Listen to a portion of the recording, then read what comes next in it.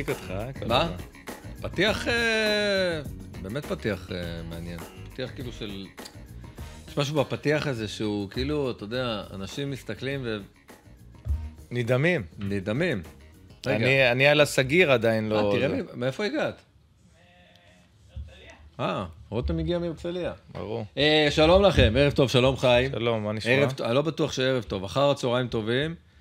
אה, בוקר טוב, לפעמים, בוקר טוב. לפעמים גם משדרים אותנו בבוקר. תשמע, אתה יודע, כן. אני הייתי רוצה שיצלמו את כל ההכנות שלך לפני הזה. שזה מה? זה... אה, ורד? תן לי, ת, תן לי רשימה, כאילו מה... התאורה, המלחמה עם התאורה, תזיזו כן, לפה, התאורה תשימו פה לכאן. אה, פשוט אה, עשה לי היא את עליי מדי. אני לא אוהב שהתאורה עליי, שהאור הזרקורים עליי. חבל שהצופים לא אה. יכולים לראות את ההכנות האלה. אז אני אומר, זה- אני, אני אוהב שהפוקוס עליך, אתה מבין? אה? אני בצד, אני נחבא אל הכלים. אני אין כלום בקושי עם הצבע שיש לי, זה... לא, אתה יודע, NW50. אתה יודע, אפרופו הצבע שיש לי, אני קיבלתי המון המון ביקורות כן, על, על מה? על ה... מה שאמרתי על רודרי וויניסיוס. עכשיו, ת... ק- קטלו אותנו, ב... אותנו, אותי, בטוקבקים. עכשיו, התמ... ואיזה אחד אה, רשם לי, יא לבן, מה אתה מבין? מה אתה רוצה? מה, זה ככה נולדתי. כאילו, מה, מה אני יכול כן. לעשות? מה הקשר לזה שאני לבן, שאני לא מדבר יפה על ויניסיוס? אבל משום מה זה נשמע לי כמו מישהו שאוהד את ויניסיוס. בדיוק. נו באמת, בדיוק. אתה מתייחס ל... אז אה, זהו. אבל אה, כן, אבל ורד עשתה אותי קצת יותר שזוף, מאוד- שזוף היום. אה, אבל נחזור עוד לרודרי. קודם קרא- כל, הוא אני- קרא לך לבן, זאת אומרת שהוא קרא לי שחור, אה? אני אני לא יודע, הוא לא התייחס אליך בכלל. אה, לא לא? התייחס, אתה מבין? לא? לא. לא, הוא אמר כאילו... בסדר, בסדר, צריך להשתזף. צדקת בזה שאמרת שרודרי צריך לזכות ב... לא רק צדקתי, תראה מה קרה למנצ'סטר סיטי. כאילו, אתה מבין? טוב, זה לא, אתה יודע, משחק אחד זה לא, אבל... משחק אבל אחד. היה מגיע לרודרי. היה מגיע גם לוויניסיוס, כעיקרון, אבל רודרי, גם בנבחרת. מדהים. אני, הטיעון שלי היה, ויש פה הרבה, הרבה ביקורות, ראיתי, שוב, ראיתי שאוהדי, כל דבר שקשור בריאל מדריד, מתסיס אה, את הרשת וזה מובן. אני אומר, יש הרבה אוהדים שחושבים שמכיוון שהחלוצים הם אלה שמבקיעים, אז בדרך כלל הם צריכים לזכות. עכשיו, היו כאלה שגם טענו ש... רגע, אם רודרי, אז למה לא קרבחל? כי הוא זכה גם וגם. אבל ההשפעה של קרבחל, שהוא מגן ימני, סבבה. הוא סבבה מבחינתי, הוא אף פעם לא היה לא, כפול. הוא היה פקטור משמעותי, רודרי, ב- במה אבל- שקרה עם מנצ'סטר. בדיוק. אבל אם ספרד לא הייתה זוכה, אז הייתי אומר לך שוויניסיוס היה צריך לזכות בכדור הזהב. אם ספרד לא הייתה זוכה. אם ספרד לא הייתה זוכה. אתה חושב שוויניסיוס היום זה השחקן הכי חשוב של ריאל מדריד? כי הי- היום כן, כי בלינגהם בעונה שעברה לדעתי היה יותר כן, משמעותי. כן, הוא היה משמעותי. בלינגהם, שנה שעברה, אתה רואה גם כן השנה, שזה לא אותם מספרים. אגב, יש שנה כזו שאתה מאוד. מצליח להבקיע שערים, ויש שנה שאין לך את המזל הזה. קח את דור פרץ במכבי תל אביב. שנה שעברה הוא היה עם כמות שערים. נכון, השנה היה לו גול אחד אפילו. השנה, היה לו גול אחד, באירופה יש לו, בליגה אין לו. אתה רואה שכשהולך לך, אתה מצליח להבקיע את השערים בקלות, וגול רודף גול, ופה אותו הדבר. ההחמצה רודפת החמצה, זה משהו ש- שקורה, נכון. וזה מה שקורה גם לבלינגהם השנה. שהוא לא מוצא את עצמו, יש עוד את אמבפה שעדיין גם כן צריך את הכדור כמו ויניסיוס וכמו רודרי. אז יש פחות אינטראקציה עם הכדור. ב- מה- לאן עובר אה, אמבפה בינואר? לסעודיה? אתה חושב? ויניסיוס רוצה סעודיה. אני, אני טוב. חושב שהוא יישאר בריאל מדריד. אנחנו אה, עוד נגיע לחלק האירופי בהמשך, אנחנו נתרכז בהתחלה בליגה שלנו, אבל בהתחלה אני רוצה להתרכז במשהו, אה, קיבלנו הרבה ביקורות על זה שאנחנו דופקים על השולחן. ממי קיבלנו? לא יודע, אין לי מושג. תגיד לי, למה, מה, אתה באת היום עם ביקורות? מה אומרים לנו? מה עושים לנו? לא, הביקורת תכף של ה- יגידו לי לא לשתות את אה, אני ליצ'י לא שם לב שאני דופק של על אה, השולחן. ורד. עכשיו, פה אמרתי, רגע, יש לך ניסיון. יש לך ניסיון. אתה בנבחרת, הגיע תשמע, מאמן. אתה דופק על השולחן, מקשיבים לך. זה נכון. יופי. זה נכון. אז אה, רגע, חבר'ה, לא, אנחנו לא נעשה... ניר, שומעים אותי פה ככה שאני עושה את זה? נמצא איתנו אביב, שהדיח רשמית את עמית מ... ברור ששומעים. מה זה? יופי. ברור שומעים. ששומעים, יפה. השולחן. אז אה, נמצא איתנו אביב, שהדיח רשמית את עמית במהלך אה, מתוחכם מאוד. זה היה מבריק. בשבוע שעבר הוא כאילו התחזה לחבר. ואני לא היה שח, עמית נעלם. עשה לו שחמט, פתאום עמית נעלם, נעלם. התקשר הדיקן ושאל כן. איפה עמית היום. אה, בעיה. אז אה, אביב, אתה עכשיו, אתה תלמיד? בדיוק סיימת, אתה מבין? אנחנו לא מביאים פה עכשיו סתם אדם יופי של תואר. עבודה, אתה בא לבוקר, שואל אותו 1, 2, 3, מעביר לך נתונים. אה, זה. בדיוק, בדיוק. נהדר. סיים. אה, מה סיימת עכשיו? מדע המדינה וסוציולוגיה אנתרופולוגית. אתה מבין? מדע המדינה וסוציולוגיה אנתרופולוגית. סוציולוגיה אנתרופולוגית, מה זה? תשמע, אני למדתי את זה כשהייתי ילד, כן. סוציולוגיה מגיל 6 עד אנתרופולוגית. 8 זה היה אני התקופה זוכר. הזאת, כן. ב- ב- כן, זה נכון. אה, וגם ורד נמצאת איתנו, מהמם. אחרי שלושה שיעורי יגע בבוקר, ורותם אחרי עוד ניצחון של באר שבע. שהיא זכוכה מתמיד, כן. זכוכה מתמיד. אה, אנחנו רוצים לדבר על הקשירות ידיים בהקשר הזה של ה... כן. שאם לא תהיה ברירה בשבוע ש- שבוע הבא, אנחנו, אה, נקשרו לנו את הידיים. אני מחזיר אותך לנילסן, לאיש שקשר לכם את הידיים. אתם מכירים את זה? אתם לא מכירים את זה? היה פעם מאמן שזכה באליפות אירופה עם דנמרק, ואז הביאו אותו לישראל. חיים לא אהב אותו, כבר אומר. למה לא. אהבת אותו? לא אהבתי אותו, כי הוא התייחס אלינו כאילו הוא הגיע מאיזה מקום, הוא היה מתנשא. היו שחקנים כמובן שאהבו אותו. אני פחות התחברתי אליו. בגלל הדברים האלה של אה, פתאום הוא רצה ללמד אותנו, הוא חשב שאנחנו איזה רפובליקת בננות. בוא, אני יכול להבין שישראל, בעולם, גם שחקן ישראלי בעולם, כשאתה מגיע לשחק בחוץ לארץ, מבחינתם, תחשבו עכשיו שבא לשחק אצלנו מישהו, והוא שחקן יוצא מן הכלל, והוא מסוריה, או מלבנון. ואתה אומר לעצמך, מה? אה, מלבנון, זה רכש נכון, מלבנון, זה נכון. לא רכש מאיזה נבחרת... אה, זה. אותו הדבר ככה אנחנו נראים בפני העולם כשאנחנו מגיעים לשחק במקומות האלה. כן, וכשהוא- אנחנו נראים כמו עכשיו נבחרת עיראק שמגיעה לשחק חד משמעית, מה זאת אומרת? שחקן ישראלי, מבחינת הספרדים, האנגלים, אה, זה בוא, זה, זה ילד, בחור שבא מהמזרח התיכון, הוא, אתה אומר, ממדינה... הוא כמו מוחמד סאלח, רק מ- פחות כן, טוב. כן, ממדינה שהיא לא... תראה, מוחמד סאלח שינה את פני הדברים בנושא הזה של... נכון. אה, במצרים אתה כבר, וכאלה. כבר לא חושב על מוחמד סאלח כמצרי. נכון. ו- אתה- ומעבר לזה, אם אתה אומר מצרי, אז אתה אומר, רגע, אולי זה המוחמד סאלח הבא שלנו. כן. אז יש לזה, זה, זה אותו הדבר עם מרוקו שמגיעים. אבל בפני העולם, אנחנו מבחינתם... זאת אומרת, זה- גם בשנות ה-90 לא הצלחתם לשנות את זה, כי היו כמה הבלחות, זה לא... זה, זה נבחרת, אה, אתה יודע, לא... לא והוא הגיע לפה וראה אותנו בדיוק באותה צורה. הוא הגיע אחרי שהוא זכה... זכה, ו- זכה. כן. עקץ את גרמניה. נכון, אבל הוא גם עלה בגלל שאחת המדינות לא נכון, השתתפה, בגלל שיוגוסלביה לא- יוגוסלביה, כן. נכון? נכון. אבל זכה, והוא הגיע לפה כמתנשא, ואחד כזה ש... ש... השחקנים, שחקני ההגנה שלנו כל הזמן היו מחזיקים את ה... את, ה... את שחקני ההתקפה. כנהוג, כנהוג. כנהוג, פיזי, שומרים בזה, והוא החליט יום אחד, תקשיבו, עכשיו אני קושר לשחקני ההגנה את הידיים מאחורה, או מקדימה, אני לא זוכר, זה... וככה אנחנו מתאמנים. אני באתי אליו ואמרתי "מה- מה... הרעיון? אני לא מבין. לא, הם מחזיקים בידיים אה, את התווכחת השחקן... איתו? אה? התווכחת איתו? כן, אמרתי את זה, זה לא נראה, זה לא נראה טוב. תגיד לי, איפה, נו, איפה זה נשמע דבר כזה? זה כאילו הגענו לאיזה מדינה, לא יודע איפה, בזה, ו...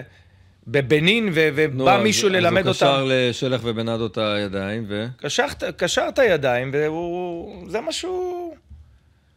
אה, זה- זה זה אנחנו לא זאת תן לא- לי עוד אה, סיבה, כאילו, עוד אה, דוגמה להתנסות אני, מד... או... אני מדבר איתך על התנסות. כן. מגיע לך לפה מאמן שאתה רואה שהוא מתנשא. עליי גם כן. ב- ב- ב- באופן אישי, כאילו, אתה כן, יודע... ככה הרגשת? כן, ככה הרגשתי, ולא לא חיבבתי אותו. כמובן שעשיתי את כל מה שאני יכול בשביל הנבחרת, ובאתי לפה, ועשיתי, והתאמנתי, וקיבלתי את המרות שלו כמאמן, כי אין ממש ברירה, זה לא... זה שאני לא מחבב אותו, או אני לא אוהב אותו, זה לא אומר שאני לא צריך לעשות את מה שהוא אומר לי. כן עשיתי את מה שהוא אמר לי, כן? אבל עדיין חשבתי שהוא מתנשא מעלינו. כן. כי זה מה שהוא חשב, שאנחנו עוד מדומה- דוגמה כזו להתנסות ב... זאת אומרת, או שזה הקשירות ידיים, זה היה... זה היה יוצא דופן. זה היה. בשיא- שאתה בטורקיה ב... לוקח אליפות, נכון? זה כן, היה אני פחות או יותר. בתקופה הזו. אה, השפעה של מאמן השחקנים זה משהו מאוד קריטי, אנחנו נגיע לזה עוד מעט עם מנצ'סטר יונייטד, שנראית פתאום יותר שמחה, למרות שווניסטר בא ל... ארבע דקות עד שיגיע מאמן, אה, המאמן הקבוע. בואו נדבר על הליגה שלנו. אה, ונתחיל עם הקבוצה הכי טובה בארץ היום. בית"ר ירושלים. בית"ר ירושלים. נכון. מה, מה אתה אומר? חד משמעית, אני חושב שכרגע, במומנטום הזו, בית"ר ירושלים, הקבוצה הכי טובה בארץ, היא משחקת הכי נכון, משחקת בהנאה, משחקת uh, התקפי, כן? יש להם uh, מאמן שיודע לעשות את החילופים הנכונים, ומציב את השחקנים במקומות הנכונים, וכל פעם שאתה מצליח להבקיע שער ולנצח עוד משחק, אתה מקבל עוד ביטחון ועוד ביטחון, בטח אחרי שאתה מנצח את מכבי חיפה ומכבי תל אביב ברצף, אז אתה מרגיש שיש לך את היכולות. כל שחקן... עכשיו, הוא ב-30-40 אחוז הרבה יותר טוב ממה שהוא היה לפני שלושת המשחקים האלה. בנוסף, היה בעיה איפה ירדן שואה ישחק. נכון. האם הוא ישחק בצד שמאל, האם הוא ישחק בצד ימין. אה, יש את טימותי... אה, מוזי. מוזי, יש את אה, טוואמאסי, אי אפשר לדעת אם הוא, הוא ישחק, יונה ישחק. אתה רואה פתאום את ירדן שואה משחק במרכז המגרש, מקבל את הכדורים, משחק גם בשמאל וגם בימין, יודע לנהל את המשחק, ואני אומר את זה הרבה הרבה הרבה פעמים, שיש מאמנים שלא מבינים לפעמים איפה צריך להציב את השחקן כדי שיעשה את העבודה הרבה יותר נכון. טוב. וברק יצחקי נראה שפיצח את העניין הזה, איך לסדר, שועה. איך לסדר את השחקנים, ואיזה יהיו ב, ב, בספסל וייכנסו וישנו את המשחק. לא רק זה, אני חושב שבתולדות הכדורגל העולמי והישראלי, יש מעט מאוד דוגמאות למאמן שלקח שחקן והפך אותו, אני לא יודע אם לשחקן יותר טוב, אבל שינה לו תפקוד והפך אותו לשחקן יותר יעיל. עכשיו, שועה תמיד היה מוסר טוב וכולי. אני חושב שהשינוי עכשיו של יצחקי בשועה, אולי זה גם אלמוג כהן, כמו שהזכרת, אה, זה השינוי המנטלי. שועה הוא מנהיג. שועה הוא מנהיג בבית"ר ירושלים. מילד פוחז, בלאגניסט, שקראנו עליו רק אה, שטויות ובלאגנים מחוץ למגרש, שועה התבגר גם על הדשא וגם בחוץ, ככה זה נראה. בואו נתחיל בזה שהמילה הטובה צריכה להגיע לברק אברמוב. כי ברק אברמוב, עוד לפני שהגיע ברק יצחקי ו... ואלמוג כהן, הוא כן לקח תחת חסותו את ירדן שואה, ונתנו לו להיות uh, המנהיג, אבל כשהגיע אלמוג כהן וברק, אני חושב שהם טיפה סידרו לו גם את המשחק המקצועי, לא רק את ההרגשה הזאת שאתה הקפטן ואתה המנהיג, אלא בתוך המגרש. יש להיות מנהיג מחוץ למגרש ויש להיות מנהיג בתוך המגרש. קח למשל את טל בנין. אני, מבחינתי זה אחד המנהיגים הכי גדולים שהיו על המגרש. איך זה אין בא לידי ביטוי? איך זה בא לידי ביטוי? בזה שהוא היה...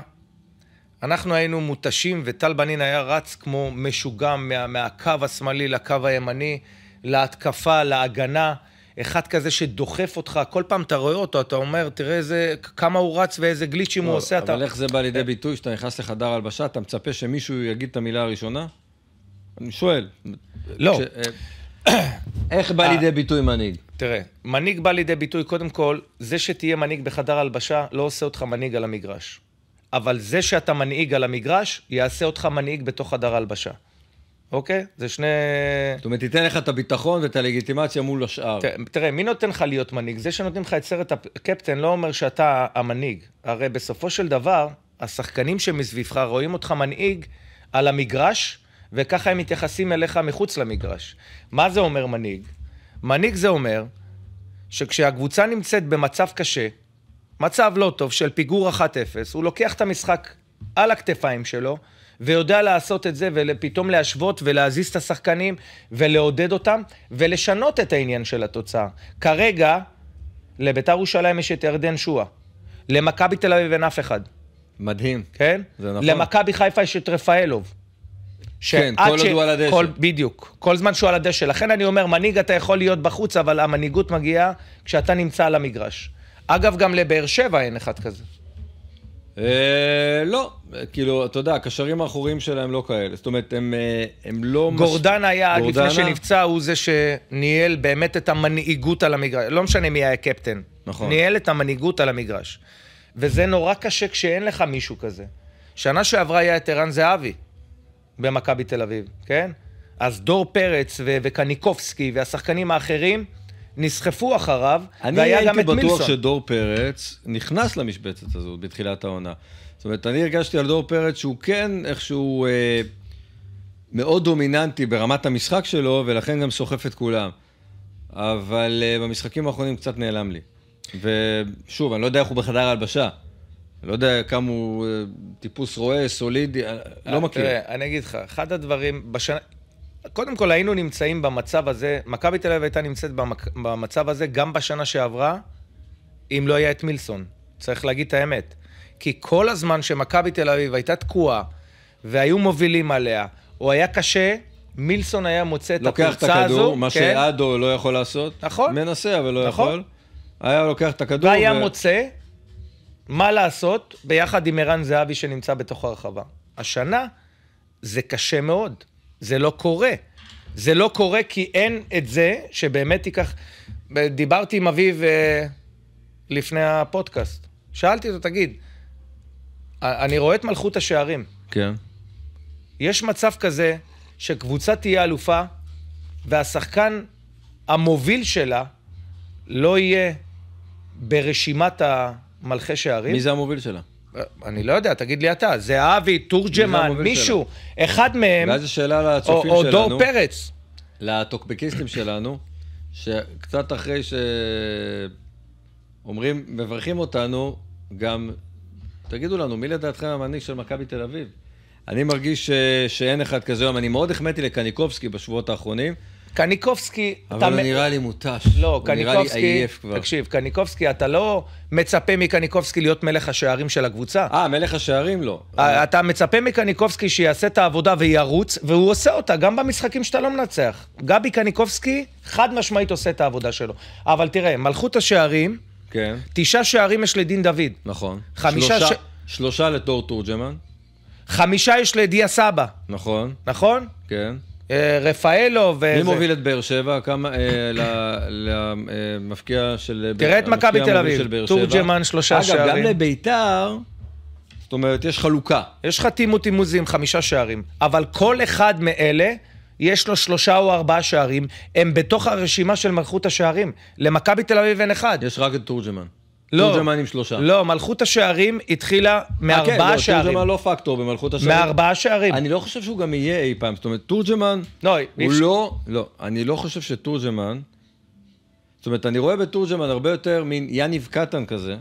אחד שהוא יותר שחקן חלוץ, או שחקן שעושה הרבה דברים שהם לא רק גולר. כי קטן לא היה גולר, הוא היה all around player כזה, הוא לא היה גולר. לעומת זאת, אתה יודע, שחקנים שהם פחות טובים, אבל הם גולרים, כמו, הנה, דין דוד זה הדוגמה הכי טובה. אתה לא תצפה ממנו לקחת כמו תורג'מן את הכדור, את השחקן עליו ולרוץ 40 מטר. הוא עושה את הדברים אחרת והוא גולר. תור תורג'מן לדעתי לא גולר. שוב, הוא ילד עדיין. אתה, אתה, אתה לא מסכים איתי? מה? לא, זאת אומרת, אני- אתה רואה את תורג'מן כאלון מזרחי? לא. לא, כרגע לא. גם אני לא ראיתי את אלון מזרחי כאלון מזרחי כשהתחלנו לשחק והוא היה בגיל איך של... ראית את אה, אלון מזרחי כשהתחלתם לשחק? אלון מזרחי היה בגיל 19. לא ב- היה ב- גולר בנוער עם בהתחלה- 200 שערים בעונה? לא, בנוער אני לא שיחקתי איתו, אבל כשהגעתי איתו לבני יהודה, ב- הוא בשנה הראשונה שהיה, הוא עבר מבני יהודה להפועל תל אביב. כי הוא לא שיחק מספיק, והוא עשה נכון. וכשהוא חזר לבני יהודה, אז הוא התחיל להבקיע את השערים. אף אחד לא חשב שבסוף העונה אלון מזרחי יהיה מלך השערים, אבל פתאום התחלת לראות... יש כאלה שמסומנים. הוא- אתה יודע, אני, אני ב... כש... בשנות ה-80, גדלתי בחיפה, כן. היה איתי מלך מרדכי. מה? אני הייתי מלך שערים. אגב, אגב, אני הייתי מלך שערים ב... בבית ספר אילנות. באמת? כן. ב... זאת אומרת, היו משחקים, היו משחקים כאילו הכוכבים, ואז היה אותי שמשחק מול החבר'ה בכיתה ב', אני הייתי בכיתה ד', הייתי מלך שערים במשחקים האלה. טוב, זה גם. משהו, נו. אבל אה, סתם, סתם, עוד מעט אני אספר באמת על המשחק בשבת, אבל אנחנו אה, קופצים מנושא לנושא. לא, אבל אנחנו מדברים על מנהיג, אז נכון? רגע, מלך שערים, היה כן. לנו בחיפה את איתי מרדכי. כן. הוא היה בנוער מפגיז, ברמות אחרות, היה מלך שערים מגיל 12 עד גיל 18. כן. כשהוא עלה לבוגרים, זה לא עבד. זאת אומרת, יש כאלה שמסומנים תמיד כמלכי שערים מטורפים, אתה אומר, אלון מזרחי לא היה כזה. זאת אומרת, לא היה איזה מישהו שדיברו עליו כ... לא, אלון מזרחי בשנה שהוא, אמרתי לך, בחצי שנה הראשונה הוא היה בבני יהודה יחד עם משה סיני ועם ניר מנחם וחזי שירזי, והוא עבר להפועל תל אביב וחזר שנה לאחר מכן. אבל שנה לאחר מכן בא שפיגל, כן? ונתן לו לשחק, אה, לשחק אה, כמות של מאמן. משחקים, בסופו של דבר, נתן לך גם את הביטחון, וכשאלון מזרחי התחיל להבקיע שערים, הוא לא עצר. הוא לא עצר עד שהוא סיים את, ה, את הקריירה. אתה יודע- עכשיו, זה יכול לקרות לתורג'מן, אבל עוד פעם, אנחנו מדברים על הנושא הזה של מכבי תל אביב עכשיו, בדקה 50 בצרה. מה עושים? מה עושים? מי השחקן עכשיו שאפשר על הגב שלו להגיד, אל תראה, לא, לא קרה כלום, אבל הנה, הוא יוציא אותנו מהמצב הזה. אין את זה. לפני חודשיים, הייתי אומר לך ערן זהבי, הוא גמר לו את הביטחון. הוא גמר לערן זהבי את הביטחון. כן. ערן זהבי נכנס בדקה 78. כמה מאוהדי מכבי תל אביב רצו שזה יקרה? 99 אחוז, נכון? אמרו, הנה, ערן נכנס, זה גול. דפקתי על השולחן. כן. אה, ערן נכנס זה גול. והוא החטיא. עכשיו, הוא החטיא לא כי הוא היה קר, כי לבעוט פנדל אתה לא צריך להיות קר או חם. אני גם הייתי נותן לו לבעוט. מה? היית נותן לו לבעוט. איזה שאלה. מה? ולמה הוא החטיא? זה הדבר הכי... תנתח לי את ההחמצה של זהבי. תראה, קודם כל, ערן זהבי יכול להחמיץ פנדלים, כן? אבל זה לא העניין של... הוא היה קר או, או משהו כזה. פשוט יש איזה רגעים שאין לך את, ה, את הביטחון, את האנרגיה החיובית שהיא בתוכך, וכשאתה נכנס, כן? בדרך כלל ערן זהבי, אתה יודע, לפני שהוא בועט. הוא מרים שנייה אחת את הראש ומסתכל לראות לאיזה פינה הוא צריך לבעוט. אגב, הוא בעט נהדר. זה שצור, השוער, היה פנטסטי היה באותו פנטסטי. משחק, הוא קפץ וזינק ממש ממש לפינה. הבעיטה של ערן זהבי הייתה חזקה. אבל, אבל העניין של, של הקרמה, זה ביטחון... כבר הקר- זה- כן, בדיוק. בדיוק, אני ראיתי אותו כל המשחק. אתה, אתה ראית בטלוויזיה את המשחק? כן. אתה ראית את ערן זהבי מתוסכל, היה את הקטע הזה של לזטיץ', אתה לא יכול לדבר על זה, שכן. על הקטע הזה של לזטיץ', אני נעלבתי בשם זהבי, לא משנה עכשיו אם מגיע לו לשחק או לא, שאתה מוריד אותו ומחזיר אותו, וזה, אתה יודע, מדקה 40 מחמם אותו, ואז שם אותו על הספסל, ראית את זהבי כמעט בוכה. כאילו, במצוקה אמיתית, ואז אתה מכניס אותו לבעוט פנדל. כמו שאתה אומר, האנרגיות שלו כבר היו כבויות לגמרי. בדיוק, זה, זה, זה, זו, אחת, זו הבעיה בעצם, כן? גם מספר הדקות. בוא, אתה לא יכול לצפות, לא מפטאצ'י ולא מערן זהבי, אי אפשר לבוא אליהם בטענות ב-15 דקות, ולא ממדמון. אי אפשר לבוא לשחקנים כאלה שמשחקים 15 דקות, או יש להם 180 ומשהו דקות מתחילת העונה. איך אפשר? ב-15 דקות אתה לא יכול לתת איזה. דיברנו על שחקן העונה בשנה שעברה, שמבחינתי היה ביחד עם מילסון שחקן העונה, זה ונוברהיים. כן.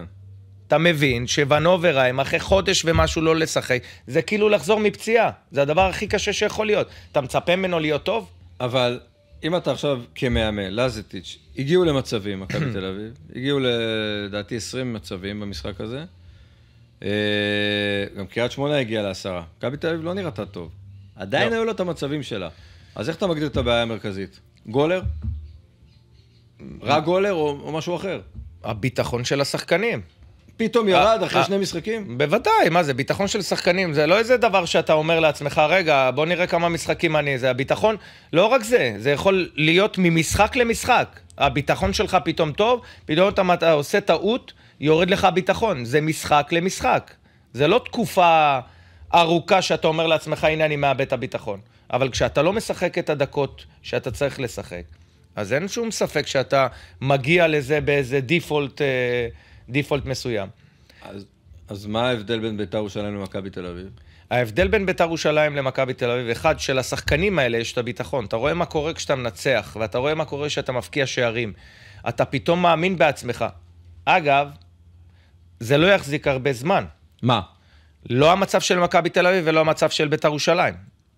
אתה אוקיי. מבין למה- שכרגע, כי כרגע מכבי תל אביב, so called נקראת במשבר, נכון? שני משחקים של כן, הפסד. ב- לאט לאט יש למכבי תל אביב שחקנים טובים, כי שחקנים טובים יכולים לאבד ביטחון לזמן מסוים, וזה חוזר להם, כן? זה חוזר להם כי הם שחקנים טובים, כי זה מה שהם יודעים לעשות, כן? ובדרך כלל זה מגיע כשהקבוצה מתאוששת, כן?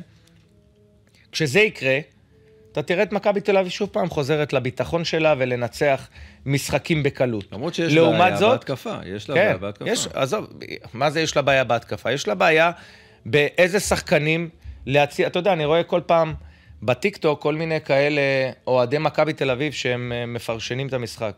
וואלה, תשמע, כל הכבוד, יוצא מן הכלל. כן. באמת, אתה יודע, הם מסתכלים על זה. יש אוהדים שהם, שהם הם מסתכלים על זוויות כאלה, שגם אני מסתכל עליהם, ווואלה, אתה יודע, אני שיחקתי כדורגל, הם לא. ואתה רואה, אתה שומע את מה שהם אומרים, ווואלה, יוצא מן הכלל. אנשים שמבינים כדורגל. מה הם אומרים? זה. תגלה לנו. אה, לא יודע, על כל מה שאתה אומר. למה זהבי לא נכנס לאיזה? אה, למה מדמון רק ארבע דקות? אה, נכון. אדו הוא שחקן של, אגב, של ליגה ישראלית. או- מדמון הוא פוטנציאל של גולר, זאת אומרת, לתת מספרים. כן, פשוט לא. משחק הרבה.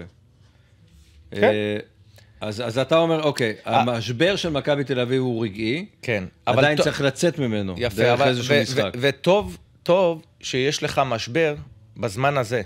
אתה לא רוצה לקבל משבר בסוף העונה. נכון. כמו שהיה בשנה שעברה, עם מכבי חיפה, כן? אתה לא רוצה לקבל את זה. עכשיו אתה מקבל את זה, אתה מתעשת, אתה מחזיר לשחקנים את הביטחון, כמובן שזה בתוצאות, כשאתה מנצח אז הדברים קורים הרבה יותר טוב, וגם צריך לדעת איך לנהל את השחקנים כדי שלכל השחקנים יהיה ביטחון. נורא קשה לא לשחק חודש, כן לשחק, פתאום אתה מתלבש, פתאום לא מתלבש, לאי עושה... זה, זה, זה הדבר הכי גרוע שיכול להיות. מבחינת בית"ר ירושלים, כן, עכשיו המלחמה שלהם תהיה עם עצמה. כמה, כן, כ, איך אנחנו שומרים על זה? איך אנחנו שומרים על הגחלת הזו, על הדבר הזה, שימשיך לתת לנו את, ה, את, ה, את האפשרות הזאת להמשיך לנצח. עכשיו יצחקי בבעיה. זאת אומרת, פתאום כולם, לא, לא מלחיצים אותו, אבל פתאום כולם אומרים, אתה יכול להיות אלוף. בסדר, זה מוקדם, גם לבית"ר ירושלים, גם למכבי תל אביב, גם לחיפה וגם לבאר שבע. זה עדיין מוקדם לקבוע איזה קבוצה תזכה באליפות. אבל מה שכן, צריך לדעת לשמור על הדבר הזה. כי מה שיקרה לבית"ר ירושלים, כשהיא תיכנס למשבר, פה תימדד הקבוצה. ובית"ר ירושלים נמצאת בחיסרון. כי בוא נאמר שרק השנה הזו בנו את הקבוצה הזאת. למה מכבי תל אביב ומכבי חיפה, כשהן נכנסות למשבר, הן יוצאות ממנו? כי הן בנויות כבר המון זמן.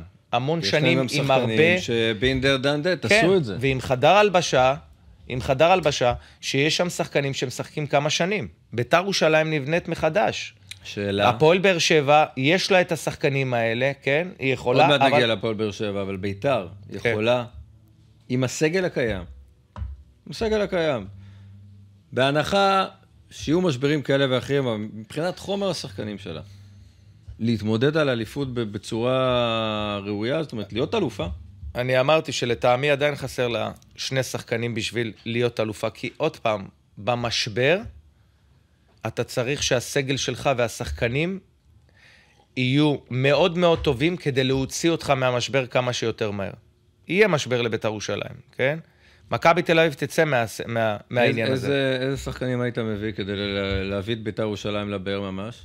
דיברו על אצילי, זה נגיד, אוקיי, לא אני, יבוא. שאלת אותי על אצילי, אני אמרתי שזה יכול להיות בעייתי בגלל שועה ויונה. כי אז זה בא על חשבון אחד מהם בדקות, וזה בא על כן, חשבון מהם. ב- ב- במצבים כאלה. עדיין יש להם משחקים? טובים. קשר אחורי ובלם? אני הייתי מביא את גיא מלמד לביתר ירושלים. עוד חלוץ. זאת אומרת, כן. הב- הבעיה שלה היא עוד חלוץ? יש לה את מיירון ג'ורג', שהוא בסדר. מתי שהוא נכנס, הוא מפריע, הוא עושה מלחמה, אבל אתה צריך גולר. אתה צריך מישהו שם, שכשיהיה לך קשה עם ירדן שואה ויונה וטימותי ו- וטאוואמאסי ויהיה לך קשה, יהיה את זה שיודע לדחוק את הכדורים פנימה. בוא תיקח אה, את מכבי חיפה ללא דין דוד, שהביא להם הרבה נקודות, זה בעייתי. זה לא- עזוב את זה שלקחו כבר את פיירו. זה בסדר, דיה סבא ורפאלוב. אבל בסוף אתה צריך את זה, שיפקיע את השערים ברור. בתוך הרחבה. עכשיו, אין את זה לביתר ירושלים. אין את זה. טימו טימוזי עם חמישה שערים. נכון. אז, אז אני עוצר אותך כאן בנושא, בהקשר של ביתר, אתה אומר, אז, אז לא צריכים ההגנה בסדר, כי מרסלן זה גם איזה... מרסל- ונדייק היה עוזר להם. תראה, מרסלן זה בסדר. לא זה הייתי... בסדר. זה בסדר, בוודאי שזה בסדר, אבל עם, עם גל כהן ו, ודהן, שהם שחקנים טובים. איך? גיל. גיל כהן. גיל כהן ו, ודהן, שהם שני שחקנים טובים, לא יכולים להחזיק מעמד ולייצב את ההגנה במהלך כל העונה. עוד פעם אני אומר, כשיגיע הרגע ויהיה את זה, שם תיבחן ביתר ירושלים האם היא יכולה להמשיך או לא להמשיך. יש לה יתרון אחד, זה הקהל שלה. נכון. זה הקהל הנהדר של. של ביתר ירושלים. זה, זה משהו יוצא דופן, זה האמת דוחף את שכן. תשמע, השחקנים. ביתר כבר 15 שנה לא אלופה, זה... אתה ראית את זה הטירוף. נחמד, זה קצת, זה זה ירענן. בכלל, צמרת מרובעת כזו, לא הייתה שנים. עכשיו, זה לא צמרת מרובעת שבנויה מעוד אחת מפתיעה. זה ארבע קבוצות שרואות את עצמן ככאלה שיכולות לרוץ עד הסוף. עוד פעם, שתי קבוצות יצאו מהמשבר, שתי קבוצות ייכנסו למשבר, ואז אתה תראה את ההבדלים עוד פעם לקראת סוף העונה. הם לא, לא, לא יהיו ארבע קבוצות שרצות כל העונה. לא יהיו ארבע באמת? קבוצות לקראת הסוף. זה, זה דווקא כיף. אה, כיף בשבילנו, כמובן, אין, אין ספק שלהיות ארבע קבוצות ושיהיה לך מתח לקראת סוף העונה, זה פנטסטי, אבל אביב, זה לא יקרה. אתה ביררת, מי המלך שערים עכשיו של באר שבע? אה. כמה יש לו? ארבע. ארבעה. עוד... תורג'מן של באר שבע. תורג'מן של באר שבע, כן. מה זה? כולם מהספסל. אה, רותם כאן, שוב אה, מרוצה. באר שבע, תשמע, באר שבע אם היו, נגיד בהנחה שהמשחק מול סכנין אפילו היה מסתיים בתיקו ולא היו מורידים לה, זה עוד שתי נקודות, נכון? זאת אומרת, כן, באר שבע הייתה. אמורה להיות ראשונה היום. כאילו, היה. המשחק מול סכנין, גם אם היו מסיימים בתיקו, אז היה לה עוד שתי נקודות, כי הורידו לו נקודה. כאילו, אם באר שבע כן. הייתה מנצחת את סכנין, זה כאילו ארבע נקודות ש... שם. בסוף העונה אני אבין את הסיפור הזה של הנקודה ושל הבית משפט, אה, זה. זה ברור. אבל הפועל באר שבע, אה, תשמע, מנצחת כל משחק. אוקיי, איבוד נקודות מול ריינה, לגיטימי, גם מכבי חיפה איבדה. אה, שוב, יש לה הרבה מאוד פצועים, יוספי חוזר, חתואל בכלל לא... חתואל? לא, שחקן לא משחק. שהיה פעם האס הגדול שלה, מאמן שפחות מחזיק ממנו. בינתיים הקבוצה עושה את העבודה נכון. מנצחת. זה שיש את חתואל והוא לא משחק, זה צריך להסתכל על זה בצורה חיובית.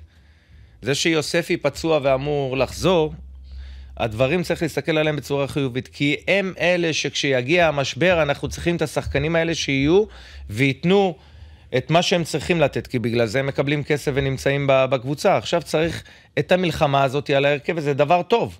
זה דבר טוב, זה בריא להילחם על ההרכב ושיש לך שחקנים טובים. אז יש תקופה ש, שאלה משחקים, וכשיגיע הזמן שזה, שיהיה פחות טוב לאותם שחקנים, שם יבואו לידי ביטוי גם יוספי וגם חתואל. כמה מתוך ה... יש, יש פחות דיבור על באר שבע, בצמרת.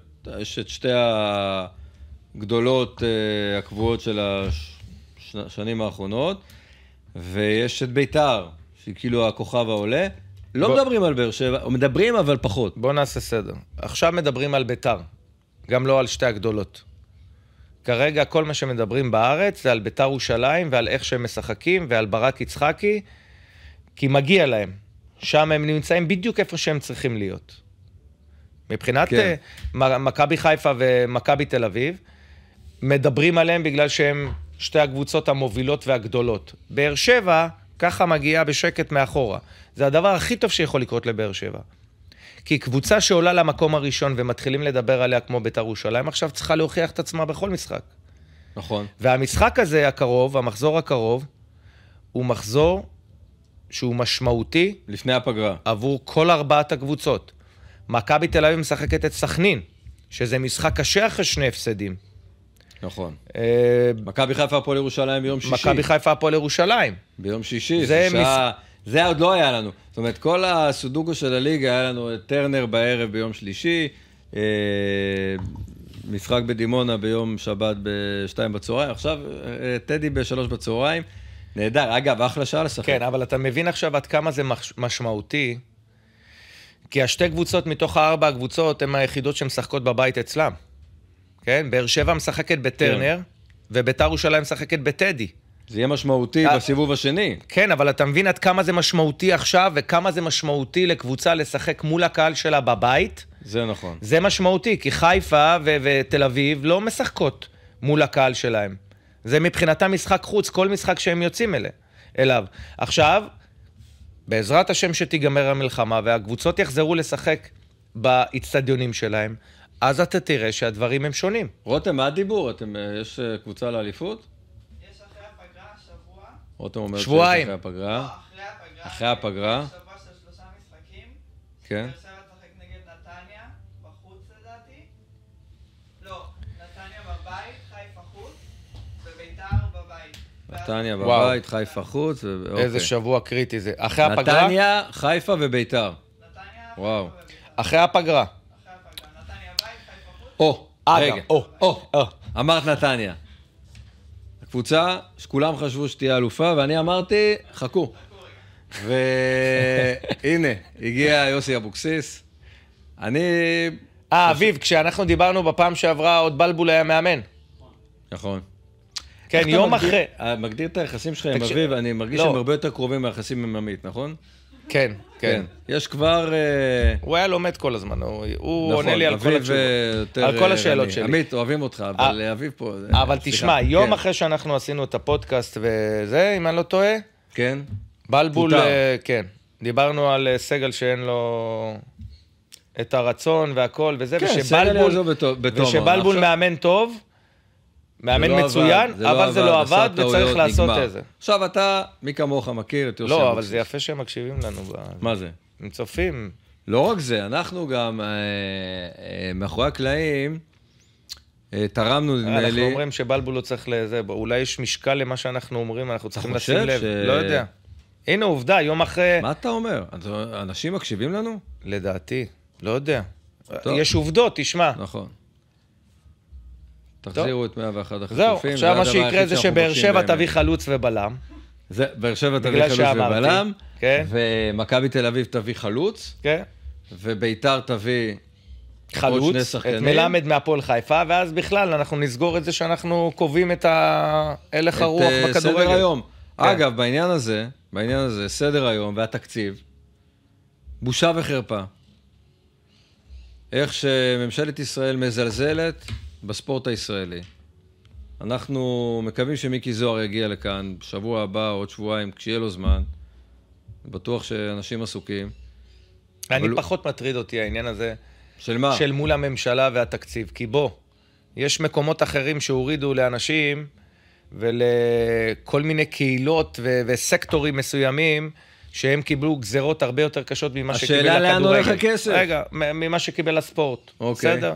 לא, גם לא, זה לא ממש משנה לי לאן עכשיו הולך אז ה- אוקיי, אז איפה הכסף. הכסף של מה הספורט? שמפריע לי, זה שאת הכסף של הטוטו עושים מהכדורגל, והכסף של הטוטו צריך לחזור לכדורגל. כי אה. אם עכשיו מיקי זוהר יגיד, אין ליגה, אנחנו לא משחקים, הטוטו יפסיד את כל ההכנסות שלו. נכון. כן? אז אי אפשר זה? להוריד את התקציב של הכדורגל ושל הספורט, כשהוא זה שמייצר לך את הכסף, אני לא מצליח להבין את זה. אני מסכים איתך. אני מציע שביום שני הבא, מיקי, תוותר על ישיבת הממשלה, תבוא לכאן, ואנחנו נארח אותך ונדבר על הכל. אתה יודע מה? לא שבוע הבא, שבוע אחרי, ותנסה, אנחנו רוצים שתבוא לפה, שתדבר על הדבר הזה, זה כואב גם לו. באמת, איזה זה כואב גם שאלה. הוא מנסה, הוא נלחם. זה המשרד שלו. אה, אבל בוא נדבר על יוסי אבוקסיס. שאתה מכיר מצוין, היה מחוץ למשחק, חיכה להזדמנות, אני חושב שהוא קיבל הזדמנות פז. נתניה, קבוצה טובה. מכאן היה אפשר רק להתרומם, וזה עבד. במחזור הראשון שלו, במשחק אה, הראשון שלו, זה עובד, אה, שלוש-שתיים, לא היה קל, אבל כמה היה חשוב עבורו לנצח, אתה יודע, באמת, ליוסי היו... הייתה שנה וחצי קשה בטירוף. שנה. כן, בוא נתחיל מזה שאני לא אמרתי לגבי בלבול שהגיע הזמן שזה ייפסק כדי שיוסי אבוקסיס יגיע, כן? לא, אבל- לא, ספ... לא כיוונת ספציפית לא, ליוסי. כן, לא ליוסי, אה, רגע, שנייה, אבל- יש פה... כן, היה... כן, מה, נתתי לך עכשיו איזה... אביב, לא. תבדוק את העניין הזה, אני פשוט, אני יושב ליד בן אדם, אני לא מכיר אותו מסתבר. תשמע, מה... לא, אוקיי. אבל מה, מה היה פה? אוקיי. בתחילת העונה, כן. כן? כשחשבתי איפה יוסי אבוקסיס יכול לאמן אחרי שהוא עזב את הפועל תל אביב. כן. אז בביתר ירושלים הוא לא יכול לאמן. כבר לא יכול לחזור. בהפועל באר שבע, הם לא השלימו? מה בעיה. מה היחסים עכשיו? לא, לא, הם... הם... מדברים? בשולם, כן, הכל שולם? בסדר. הכל אוקיי. בסדר. אבל לחזור מבחינה מקצועית לביתר ירושלים הוא לא לא. יכול. בהפועל באר שבע הוא לא יכול, הוא היה שם. וגם עזב כן, ככה גם- לא טוב. יוסי, כן. אחד שעושה טעויות, רגשיות. ואחד הדברים שאני אמרתי, זה שמכבי נתניה, אולי זה אחד המקומות שאם זה לא יצליח, ליוסי אבוקסיס יש את ההזדמנות הזו. ויפה מצד נתניה לפנות ליוסי אבוקסיס, כי זה לא בדיוק... מאמין שיצאת מפה והרמת טלפון ליד סגל ואמרת, יאללה, תחבר... זה זה- זה מה לא, שקרה. זה לא היה עד כדי כך. הבנתי. לא. לא. העניין הוא כזה. עזוב, בלבול, אה, מה לעשות, נכשל. בוא נדבר באמת על הסיכוי של יוסי אבוקסיס לחזור ולהיות לגיטימי, כי בשנה הזו הוא איבד הרבה מה... מהמניות שלו. שלו כמאמן. כן, תשמע, הוא היה מאמן משמעית. כבר מועמד לנבחרת. והסיכוי בנתניה הוא אמיתי לחזור, לחזור טוב, כי יש פה קבוצה טובה. כן, יש קבוצה טובה, אבל שוב, יוסי אבוקסיס צריך לשנות את ההרגלים שלו, את התוכניות שלו, את ההתנהלות שלו בכדורגל, כן? כי מה שהיה טוב פעם, לתקופה של אלי גוטמן, של לשחק על ה-1-0 ולשחק על העניין הגנתי, לא, לא תמיד הוא עובד, זה תלוי באיזה קבוצה אתה נמצא. במכבי נתניה אתה צריך לשחק התקפי. אתה צריך להיות קבוצה שתוקפת. כשאתה מאמן בסכנין או בריינה ואתה מגיע לשחק מול אה, קבוצות הגדולות, אז אתה משתדל לשחק הגנה ולצאת להתקפות מתפרצות. כשאתה מאמן בביתר ירושלים, אתה צריך לשחק התקפי, וזה מה שעושה ברק. בוא, ב- בעתיד יהיו רגעים שאתה תגיד לעצמך, בואנה, ברק משחק יותר מדי התקפי, כי, כי בפעם הזו, כשמול מכבי תל אביב בעשרה שחקנים, הוא הכניס שחקנים התקפיים וזה יצא לו. נכון. יהיו פעמים שלא. השאלה, במה אתה מאמין?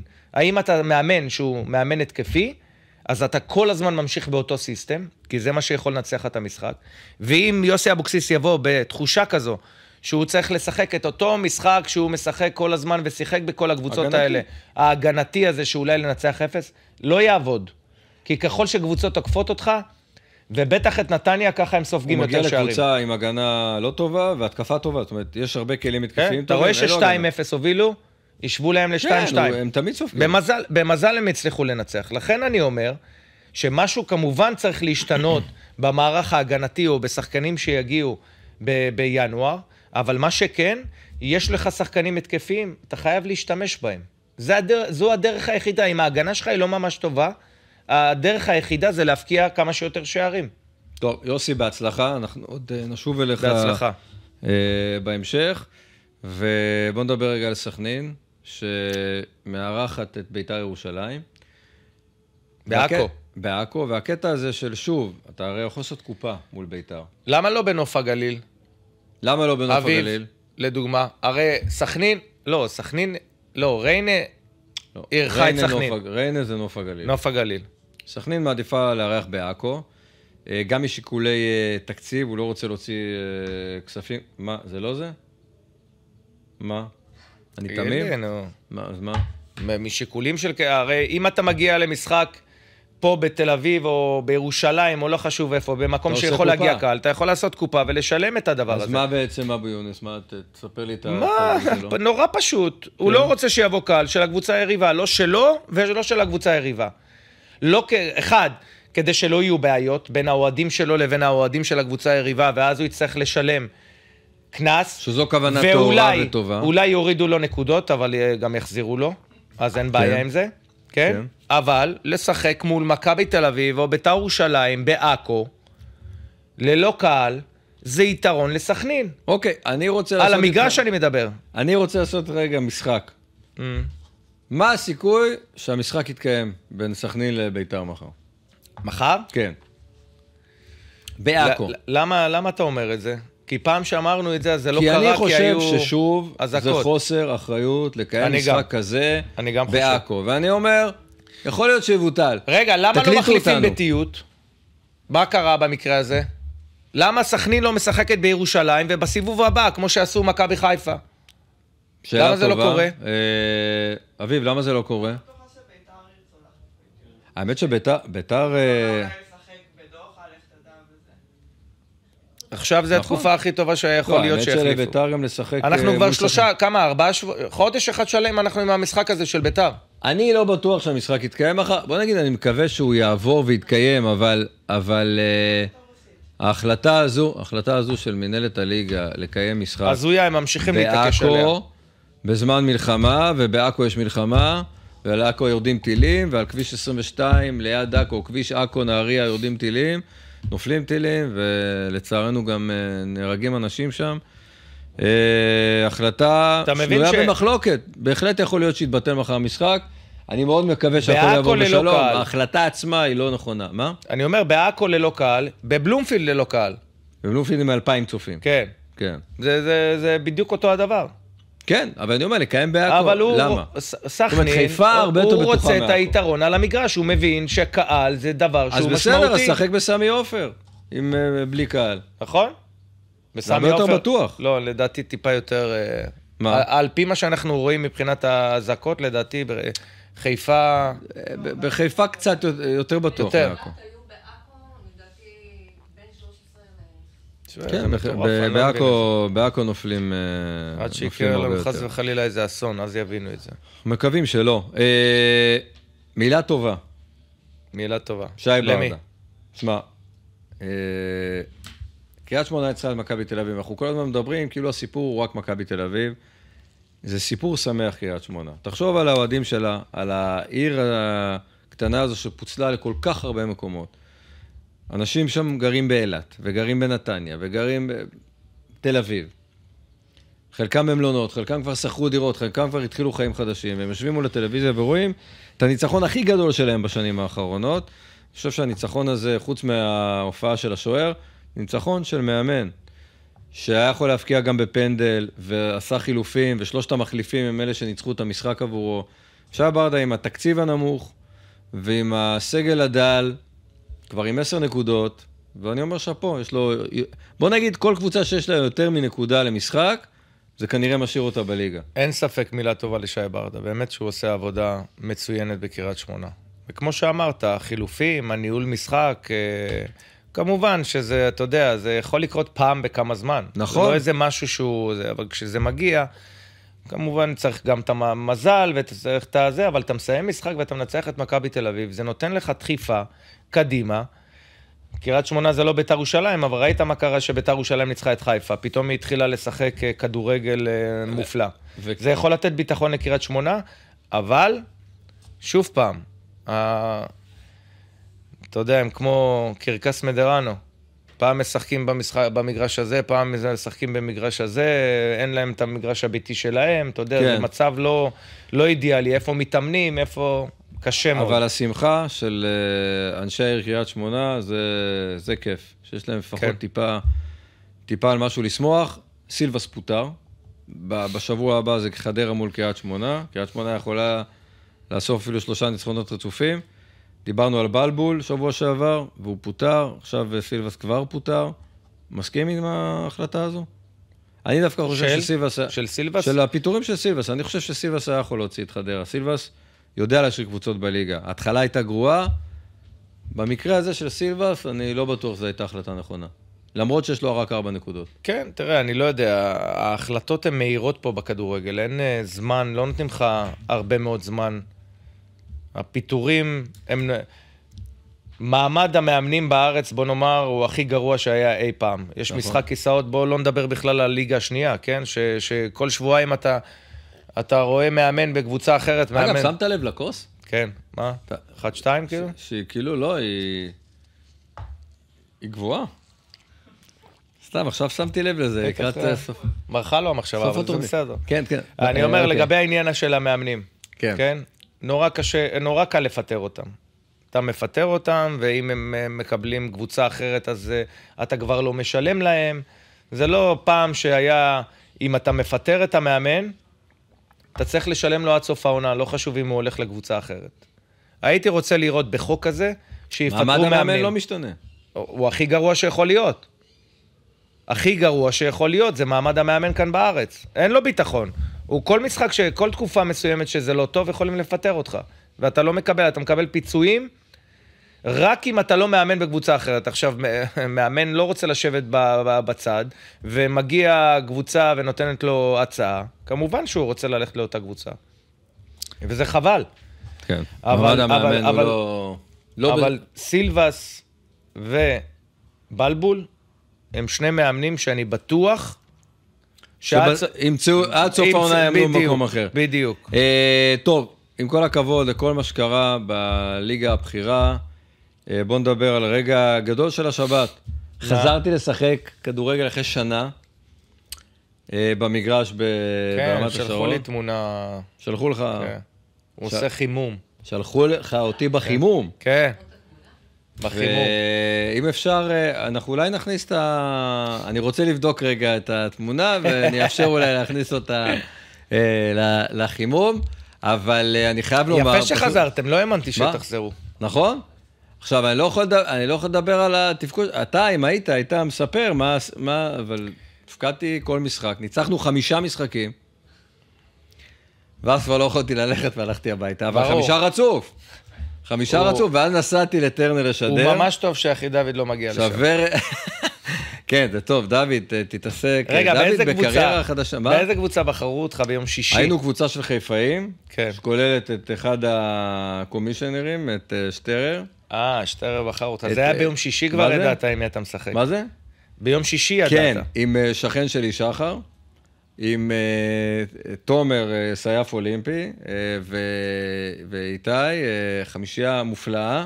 ולוזון עם אני מי? הייתי בתפקיד יותר של אה, לוזון. בחר את הבן? דוד שלו שמגיע, כל השחקנים הצעירים לוזון, הטובים. יש לו כמה בני דודים, כל פעם בן דוד אחר מגיע, ו... וזהו, והוא חווה, היה זמנים קשים. כן? כן. בגלל זה הוא לא עדכן אותי ש... יכול, הוא לא דיבר איתך מאז, כן, הכל מובן. אה, טוב חברים, חיים, היה מאוד כיף. לא דיברנו על אה, השפעה של טן האח במנצ'סטר יונייטד, ראיתי קבוצה שמחה, אנחנו נדבר על זה בשבוע הבא. גם אותו פיטרנו. מה זה? גם אותו פיטרנו.